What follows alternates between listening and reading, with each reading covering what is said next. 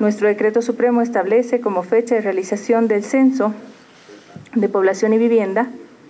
el 16 de noviembre del 2022. Tenemos previsto ejecutarlo en la gestión 2022. La información fue proporcionada por la ministra de Planificación del Desarrollo, Gabriela Mendoza, quien indicó que la decisión del gobierno es llevar adelante las acciones necesarias y suficientes para la realización del censo el próximo año a través del Instituto Nacional de Estadística. Puede ejecutar las acciones y las actividades correspondientes a la dirección,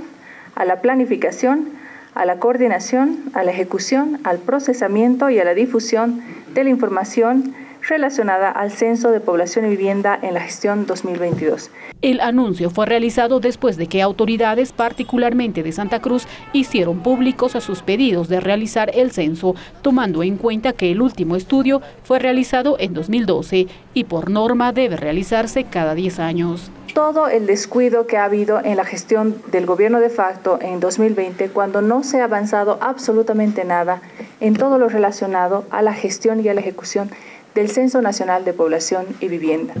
Un censo es determinante no solamente por los temas políticos, por los temas económicos que hacen a las distintas regiones. La ministra Mendoza explicó que el financiamiento del censo se realizaría mediante el Banco Mundial, con el cual se realizan los análisis de presupuesto. Resaltó que el estudio es determinante no solamente por temas políticos y económicos, sino también porque proporcionará una fotografía clara de la realidad para diseñar de mejor manera las distintas medidas de política económica y social.